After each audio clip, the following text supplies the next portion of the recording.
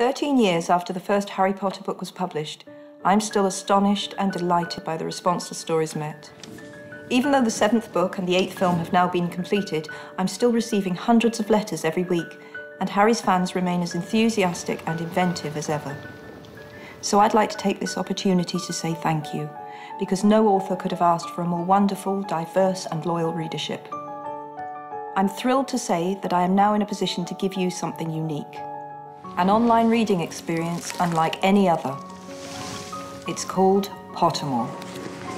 It's the same story with a few crucial additions. The most important one is you. Just as the experience of reading requires that the imaginations of the author and reader work together to create the story, so Pottermore will be built, in part, by you, the reader.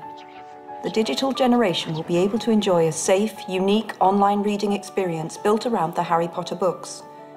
Pottermore will be the place where fans of any age can share, participate in, and rediscover the stories.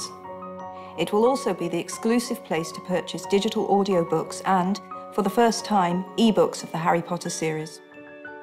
I'll be joining in too, because I will be sharing additional information I've been hoarding for years about the world of Harry Potter. Pottermore is open to everyone from October, but a lucky few can enter early and help shape the experience. Simply follow the owl. Good luck.